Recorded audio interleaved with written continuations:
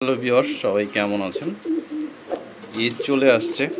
আজ আপনাদের দেখাবো যে আমার বেশ কিছু কবুতর নতুন ঠিকানায় চলে যাবে। কবুতরটা দেখবেন কত সুন্দর, এত বড় সাইজের। ডিম থেকে উঠালাম। মাশাল্লাহ মাশাল্লাহ অনেক সুন্দর একটা কবুতর। ডিম থেকে উঠাইলাম। মাদিটারে দেখাইতেছি। মাদিটা আবার ডিমে বসে পড়ছে। ডিম অবশ্য আমি চাইলা দিছি, অন্যজনকে দিয়ে দিছি। সামনে কিছুদিনের মধ্যে ডিম ফুটবে। এটা হচ্ছে মাদিটা। আর এটা হচ্ছে নটটা খুবই সুন্দর। এটা কবুতর আমার।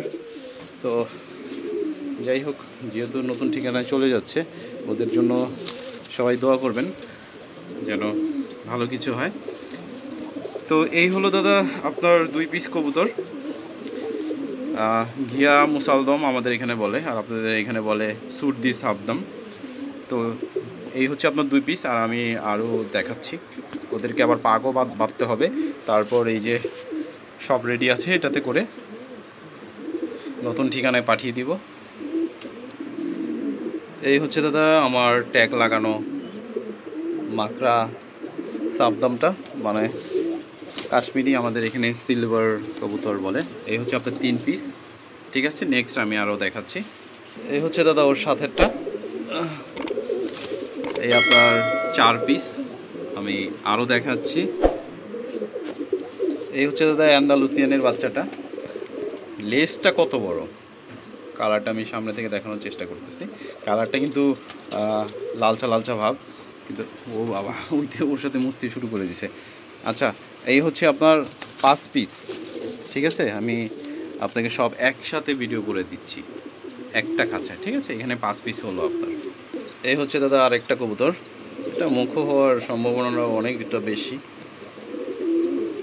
দেখেছেন চোখটা কেমন? কত হলো?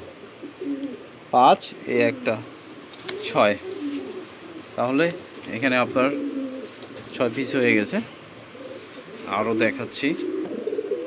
আমার ঘরের সিলভার কবুতরের মধ্যে সবচেয়ে সুন্দর বাচ্চা হচ্ছে এটা। এত সুন্দর একটা কালার বাচ্চাটা। তাহলে এই হচ্ছে আপনার দাদা, সাত পিস ঠিক আছে?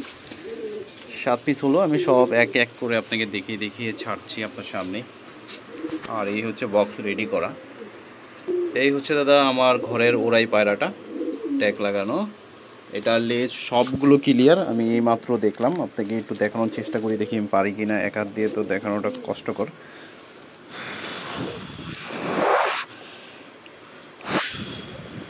দেখছেন উঠছে না? কি তোর দেখাবো কীভাবে?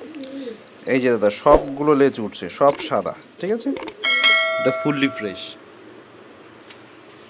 তাহলে এই হলো আপনার আট পিস ঠিক আছে? আট পিস অলরেডি হয়ে গেছে আর দু পিসের ভিডিও আমি আপনাকে দিচ্ছি।